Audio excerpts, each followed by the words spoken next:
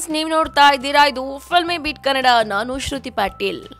Film fair ಕಾರ್ಯಕ್ರಮದಲ್ಲಿ ರಕ್ಷಿತ್ಗೆ ಕಾದಿತ್ತು special surprise ಹೌದು.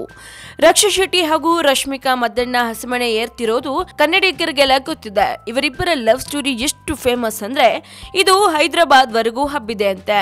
ಹೈದರಾಬಾದ್ನಲ್ಲಿ ನಡೀತಿದ್ದ ಅರವತ್ನಾಲ್ಕನೇ ಸಾಲಿನ ಫಿಲಂ ಫೇರ್ ಪ್ರಶಸ್ತಿ ಪ್ರದಾನ ಸಮಾರಂಭಕ್ಕೆ ದಕ್ಷಿಣ ಭಾರತದ ಖ್ಯಾತ ನಟನಟಿಯರ ಹಾಜರಾಗಿದ್ರು.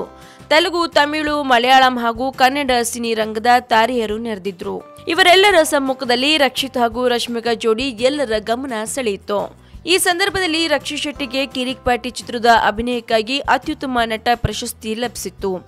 ಆ ಪ್ರಶಸ್ತಿಯನ್ನ ರಕ್ಷಿತ್ಗೆ ನೀಡುವ ಭಾಗ್ಯ ಸಿಕ್ಕಿದ್ದು ರಶ್ಮಿಕಾ ಮದ್ದಣ್ಣನಿಗೆ. ತಮ್ಮ ಭಾವಿ ಪತ್ನಿ ಕೈಯಿಂದಲೇ ಪ್ರಶಸ್ತಿ ಪಡೆದುಕೊಳ್ಳುವ ಅದೃಷ್ಟವಂತ ರಕ್ಷಿತಾಗಿದ್ರು. ಒಟ್ಟಾರೆ, ಇಡೀ ಕರ್ನಾಟಕಕ್ಕೆ ತಿಳಿದು ಬಂದ ಇವರ ಲವ್ ಸ್ಟೋರಿ ಇದೀಗ ಹೈದರಾಬಾದ್ಗೂ ರೀಚ್ ಆಗಿದೆ.